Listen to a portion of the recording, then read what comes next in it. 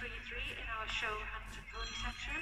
Our judge, Mrs. Carnage, has chosen as her winner number 2206, Mr. David Thompson, and Strutman Durity. And in second place, number 1661, Miss Ellen Reese of the Fawn.